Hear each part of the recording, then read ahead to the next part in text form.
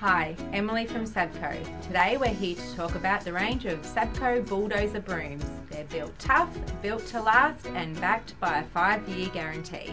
The multi-purpose brooms with the yellow and black dual layer bristles are great to sweep medium debris and are perfect for sweeping smooth surfaces like pavers and concrete.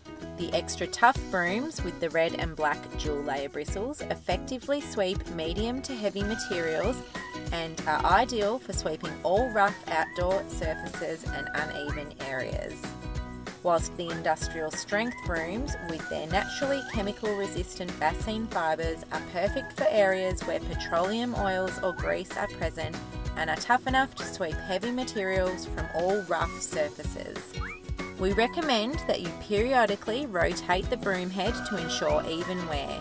This is done by simply loosening the wing nut on the ferrule, turning the head and securing the wing nut once again. Another handy tip is to occasionally shake out your broom to remove any dirt or debris that may be caught in the bristles. That's just another way that Sabco helps you keep it clean.